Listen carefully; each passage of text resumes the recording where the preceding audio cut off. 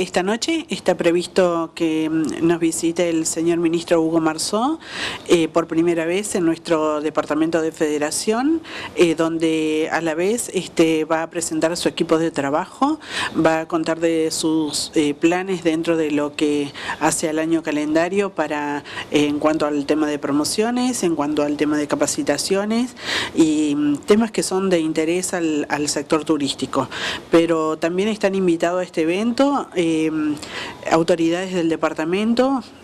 intendentes y secretarios y directores de turismo de las distintas localidades, de Chajarí, Santana, Villa del Rosario, inclusive de las colonias eh, vecinas, San Jaime, y la intención junto con el sector privado, porque además este, eh, se van a estar entregando también eh, certificados de homologación donde se, categorizan hoteles, complejos de cabañas y de búngalos. Eso va a ser en el, en el evento este y, bueno, para esto la Secretaría de Turismo Local eh, junto a Marisol Romero, Marisol Romero y, al señor este, eh, Pisano que está trabajando desde la Dirección de Homologación y de Servicios Turísticos de la provincia, han estado avanzando en todos estos temas y allí se van a hacer esas entregas de certificados a un listado de alojamientos que están citados para esto. Eh, ¿En qué lugar se va a estar realizando? Esto se va a estar realizando a las 19 horas en el Centro de Comercio e Industria de nuestra ciudad, en el, en el local, en el salón, y mm, también durante la tarde, eh, junto con el ministro y el señor intendente, se va a estar visitando eh, seguramente el parque acuático y el parque termal, porque, bueno, aprovechando que es la primera vez que el señor ministro nos visita, queremos darles a conocer cómo está trabajando hoy turísticamente en la ciudad y qué es lo que tiene a futuro. Eh, bueno, para este evento también hay intenciones de manifestarles como región de otras necesidades que tenemos. Eh, dentro de esos temas es el, avance y la concreción de la autovía 14. Hay una, bueno, visto los últimos accidentes y las situaciones que se vienen presentando con la obra, consideramos de suma urgencia poder darle finalización al tema de la autovía. Eh, así que ese es uno de, de los temas que se va a plantear como región. El parque, en lo que tiene que ver con el parque acuático, ¿cómo viene avanzando? Bueno, está previsto, se están haciendo los trabajos y está previsto una conferencia de prensa mañana junto con el proyectista del Parque Acuático Alejandro Alanís, eh, donde se va a quedar abierto a todas las consultas que se puedan, este, eh, que se necesiten hacer respecto no solamente de las obras, sino también de la próxima habilitación de la piscina de olas. ¿A partir de qué hora y en qué lugar? Eh, el horario está confirmándose en este momento, estimo que va a ser a las 9 de la mañana aquí en el Salón eh, de los Escudos de la Municipalidad. Eh, bueno, por otro lado, comentarles que desde la Secretaría de Turismo también se está trabajando en, en el evento de mm,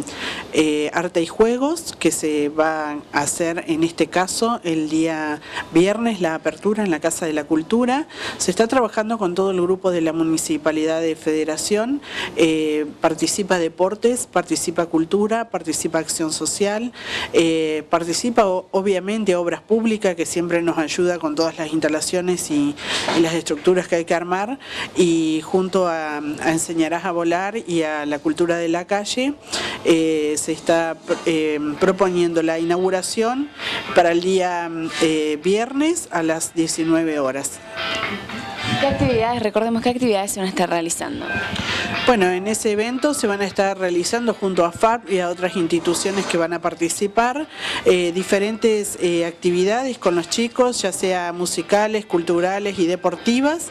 eh, donde lo que se apunta es a generar una propuesta no solamente integradora, sino también una propuesta donde los chicos para salir de la calle tengan alternativas creativas, tengan posibilidades de generar eventos de deporte, generar acciones culturales y desde allí, digamos, eh, contener y proponer diferentes opciones. Incluyendo tantas áreas, ¿sería como un trabajo en red, se puede decir? Y bueno, eh, precisamente esto de... De red es una de las propuestas que, trae la Casa de la Cultura y el Ministerio de, Acción Social de la Nación a través de, y de Desarrollo Social a través de este grupo de la cultura de la calle con la intención de mancomunar, digamos, diferentes áreas, tener todas un objetivo en común que es avanzar hacia la integración y hacia generar espacios de contención nuevos.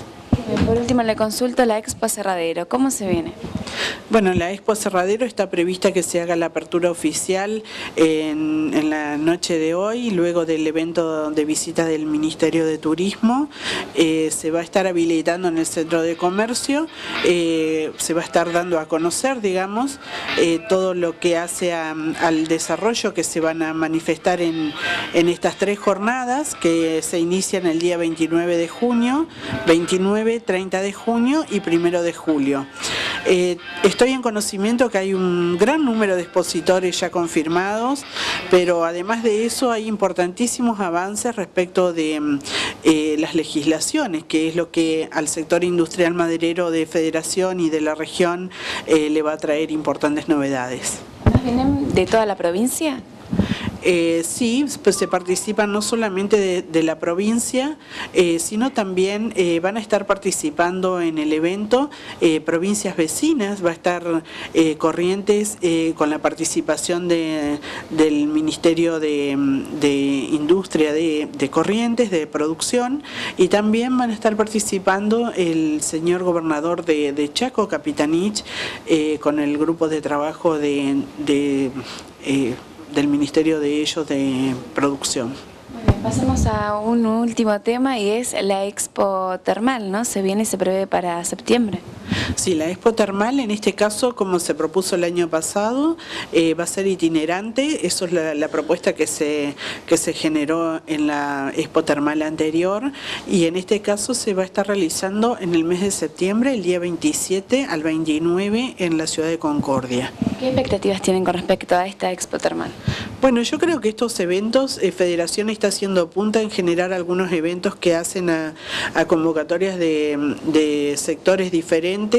y que la idea es que vayan creciendo, que vayan siendo cada vez más importantes y que sean eventos que permanezcan en la región.